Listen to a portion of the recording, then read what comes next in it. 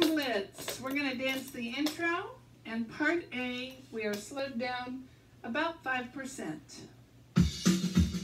Remember, it's a long intro.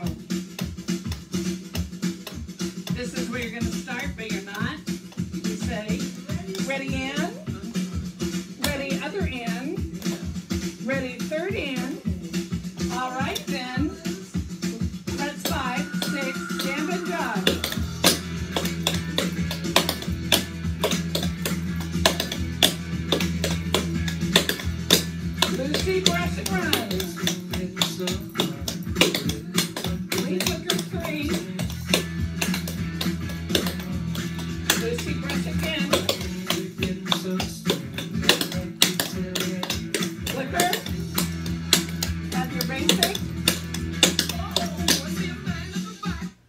And that's intro and part A.